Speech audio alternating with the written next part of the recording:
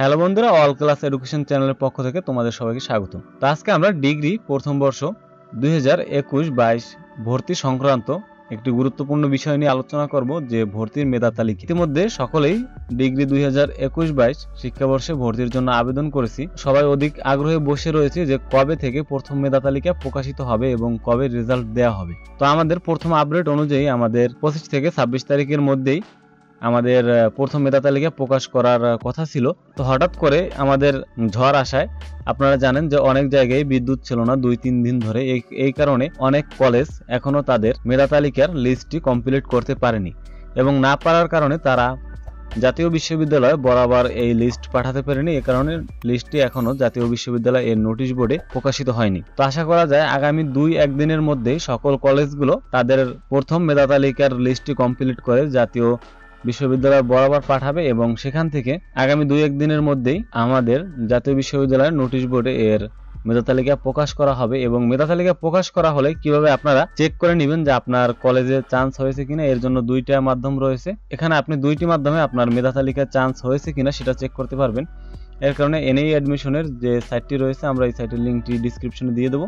এখান থেকে আপনি ডিগ্রি পাস, অ্যাপ্লিকেশন লগ ইনে ক্লিক করে দিন। এবং লগ ইনে ক্লিক করে দিলে সেখানে আপনার ভর্তির সময় যে একটি স্লিপের একটি অংশ আপনাকে দিয়ে দেওয়া হয়েছে, এই অংশটি এর এই রোল নাম্বার এবং পাসওয়ার্ডটি চাবে।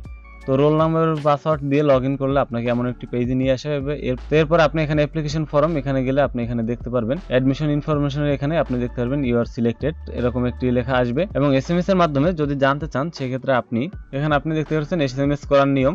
এন ইউ স্পেস এরপর এ টি ডিজি স্পেস আপনার রোল নাম্বার দিয়ে এটা সেন্ড করতে হবে। ওয়ান সিক্স ডাবল টু নাম্বারে সেন্ড করে দিতে হবে। তবে সেন্ড করার ক্ষেত্রে অবশ্যই আপনার যদি টেলিটক সিম হয়, সেক্ষেত্রে আপনি টেলিটক সিম থেকে এস এম এস করলে অবশ্যই এস এম এসটা অতি শীঘ্রই ফিডব্যাক পাবেন এবং এস এম এস একটি এস এম এস আপনার সেন্ড হবে এবং পরবর্তী ফিরতি এস এম এস আপনার আসার জন্য অবশ্যই আপনার ব্যালেন্সে তিন টাকার কাছাকাছি ব্যালেন্স থাকতে হবে। তো আপনার সিমে তিনটে টাকা মিনিমাম রাখতে হবে, এরপর হচ্ছে আপনার এস এম এস করতে হবে।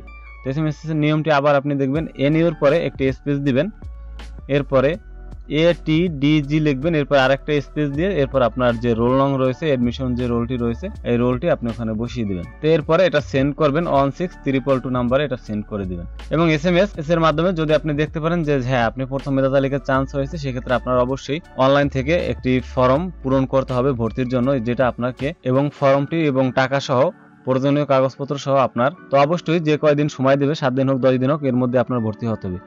কেননা এরপর আবার দ্বিতীয় মেধা তালিকার ভর্তি কার্যক্রম শুরু হবে। সবাই ধৈর্য ধরে অপেক্ষা করুন, হয়তো আর দুই এক দিনের মধ্যেই আমাদের প্রথম মেধা তালিকা পেয়ে যাব। তো ধন্যবাদ সবাইকে, দেখা হচ্ছে পরবর্তী ভিডিওতে, আল্লাহ হাফেজ।